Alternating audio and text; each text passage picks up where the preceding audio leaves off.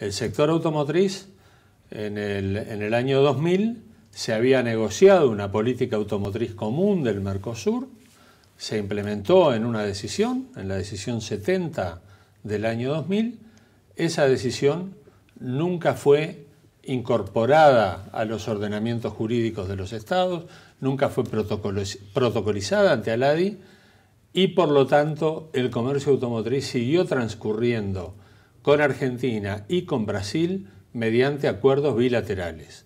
O sea, el comercio automotriz no es Mercosur y cada vez que hay una negociación es una negociación bilateral de Uruguay con Brasil o de Uruguay con Argentina.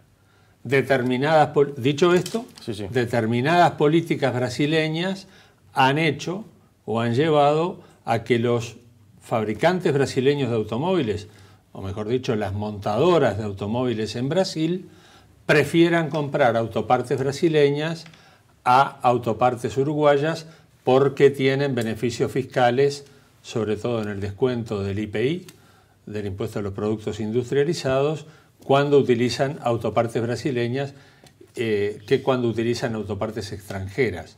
Lo que se había acordado con Brasil era otorgar a las autopartes originarias de Uruguay trato nacional, cosa que hasta la fecha no ha sido concretada por Brasil y eso es lo que reclama el sector autopartista. Porque lo que ahí hubo fue, en un momento el comercio era con cuotas, ¿no? O sea, Brasil podía ingresar con cierta cantidad de vehículos al año sin pagar arancel y a partir de 2016 se liberalizó eso y a cambio era eso, ¿no? que las autopartes uruguayas fueran consideradas de Exactamente. O sea, ocurrió el paso desde el lado uruguayo, los autos brasileños entran sin arancel, pero no del lado brasileño. Ocurrió el paso al libre comercio, pero Brasil no cumplió su parte.